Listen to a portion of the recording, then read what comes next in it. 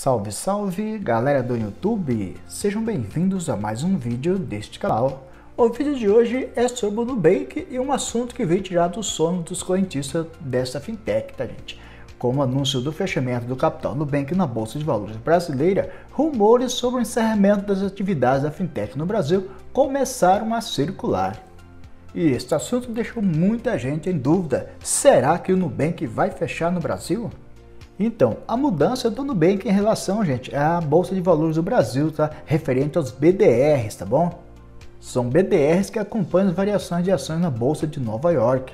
Com a mudança, os recibos continuarão sendo negociados na Bolsa Nacional, mas mudarão de níveis para que só fiquem os que são emitidos por empresas com registro no mercado exterior. Além disso, a partir daqui, a fintech não precisará seguir as regras da Comissão de Valores Mobiliários, a CVM, que é um órgão que faz a regulação do mercado brasileiro. No entanto, continuará seguindo as regras da autoridade similar dos Estados Unidos. Segundo o Nubank, a mudança é apenas uma reestruturação do programa de BDRs. A empresa também afirmou que continuará com as divulgações em português dos documentos dos investidores. Ao longo dos próximos meses, as opções para os investidores de BDRs no Nubank aparecerão no aplicativo do Banco Digital.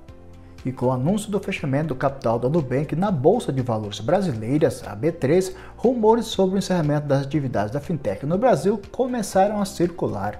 Contudo, essas ideias não passam de boatos, tá gente? O Nubank afirmou que não há possibilidade de encerrar suas operações no país.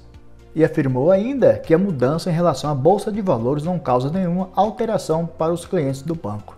Ainda em nota, o Nubank declarou que seguirá trabalhando para simplificar cada vez mais a vida dos mais de 60 milhões de clientes. A fintech brasileira foi fundada em 2013 e é considerada pioneira no setor de serviços financeiros. Ao longo dos anos, o Nubank se consolidou no mercado nacional e já chegou a ocupar o primeiro lugar no ranking dos maiores bancos do país.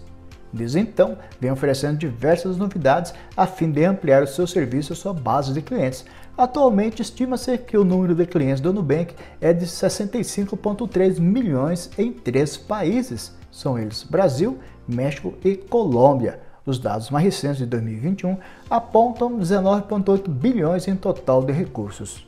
Sendo assim, se você também estava preocupado em que o Nubank poderia fechar as portas no Brasil, pode ficar tranquilo, tá gente, que é apenas boato, tá bom? A empresa continua firme e forte, ok? Se você quiser mais informações sobre esse banco, aqui na descrição do vídeo vou deixar o link que vai te direcionar direto do site oficial do Nubank. Lá você poderá tirar todas as suas dúvidas e em seguida aí, abrir sua conta tranquilamente, ok? Então, gente, era isso que eu queria mostrar para vocês. Agradeço por terem assistido esse vídeo até o final. Peço que, por gentileza, curtam, compartilhem com seus amigos e, se possível, se inscrevam no nosso canal, ok? Então, fiquem todos com Deus e até o próximo vídeo.